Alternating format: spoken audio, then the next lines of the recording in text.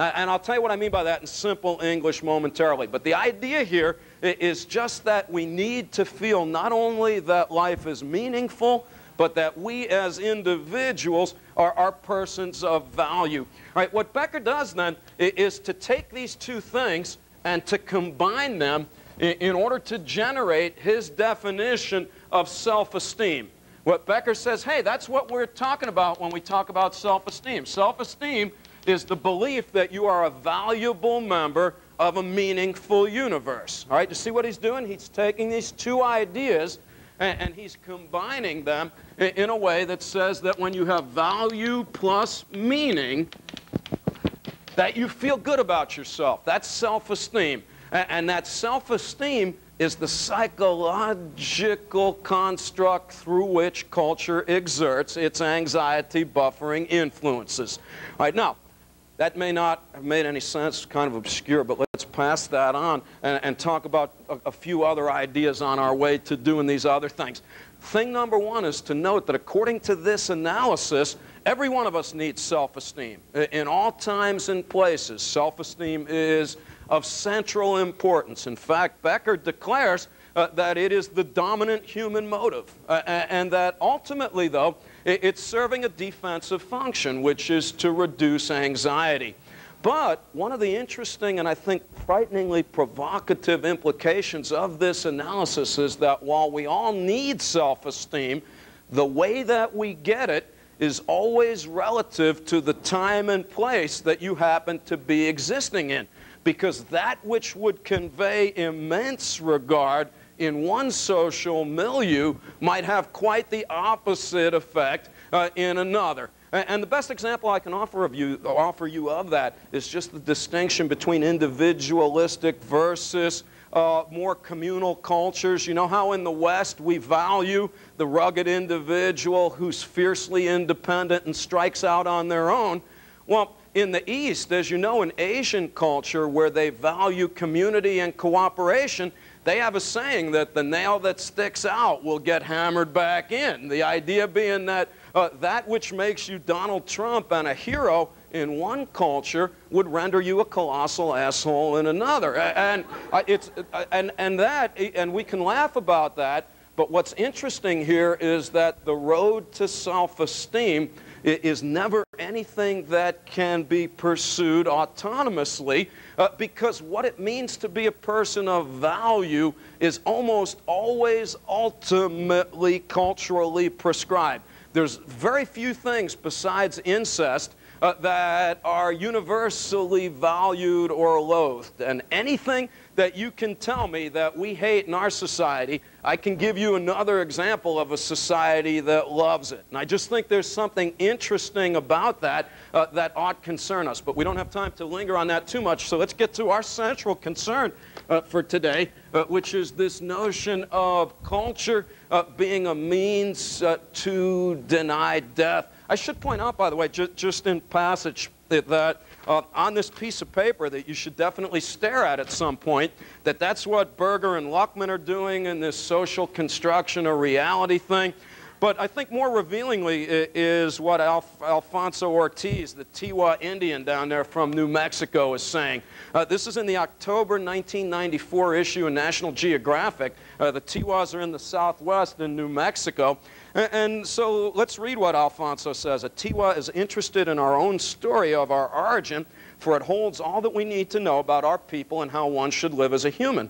The story defines our society. It tells me who I am, where I came from, the boundaries of my world, what kind of order exists within it, how suffering, evil, and death came into this world, and what is likely to happen to me when I die. And so note that here's Ortiz never having had a class in his life, right? The ultimate wisdom does not require the academy, as you're painfully aware, uh, although we try and hide that from our students as professor types.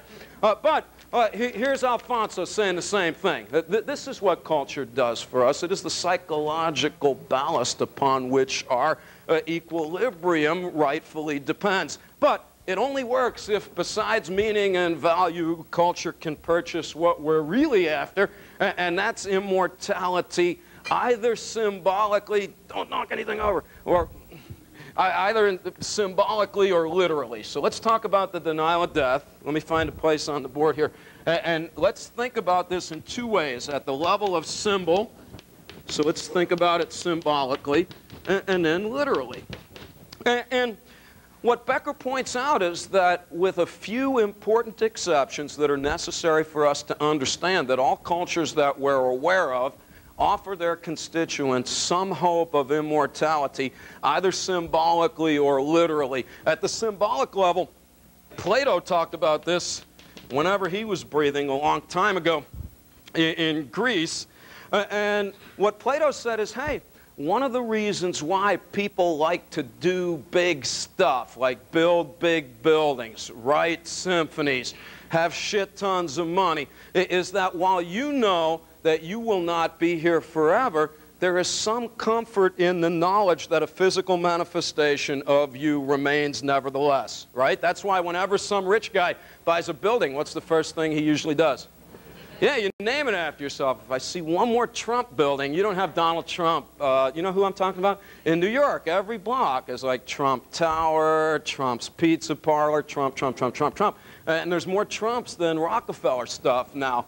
But the point is, for Plato, that's even one of the reasons why we have kids. The, the notion that any kid, people here, who's got kids? I never thought that was true until I saw my own mini replicas. I'm like, oh, here my, my kids. There's me. The bottom of the gene pool has, has been reached once again. But, but Plato said, hey, at the symbolic level, uh, you realize that you're not going to be here, but there's going to be some vestige of your existence that remains nevertheless. Right, but, as you know, we also take this quite literally through what dominant social institution? Where do you get literal immortality? Yeah, from religion typically. As you know, we'll just do this very quickly. Uh, most religious traditions offer hope of literal immortality. In the, in the Christian tradition, life may suck on earth, uh, but if you do the right thing, you qualify for immortality, whether you be a dipstick for a cesspool or the president of IBM. It doesn't matter. Everybody can win. Uh, same thing uh, in Eastern thought. The, uh, you go through a successive series of reincarnations until you get it right, and then what do you reach? Nirvana, at which point you don't have to keep coming back as a carcass. You can hang out in this ephemeral mist that I look forward uh, to becoming uh, forever. Rules, immortality rules. It's big. All right, then, that, that's what these guys are suggesting. All right, so now the issue becomes okay, well, so what? Uh, if you grant that these ideas are important, or if you even grant momentarily uh, that there's some validity to them, uh, what implications does all of this have uh, for helping us to understand uh, about ourselves and the world around us? And uh, what Becker says is, look, I, I think what we should do, or at least one of the things that he suggests, is that we look at different cultures and our own in order to develop better ones. What he says is, look, all cultures pretty much do the same thing. They are vehicles to help us understand the nature of the world around us and to provide us with opportunities to feel good about ourselves in the service of perceiving uh, that we might someday uh, be immortal. But having said that, uh, Becker vehemently opposes the notion of cultural relativity. Have they talked about that, uh, uh, or the use of that term? Yeah. Okay, uh, have you heard the term cultural relativity before? That's just this idea that every culture is different and there's no grounds to make judgments between them uh, because they're all just different. Becker rejects that unequivocally. He just says, look, I, I, that, me speaking for him, he says, I think that that's bullshit. I think you can and must make judgments uh, about the relative utility of different kinds of cultures with regard to the extent that they help us live and to the extent that they help us die. And, what he goes on to do is to say, well, okay, uh, what do we mean when we talk about a culture being potentially better than another?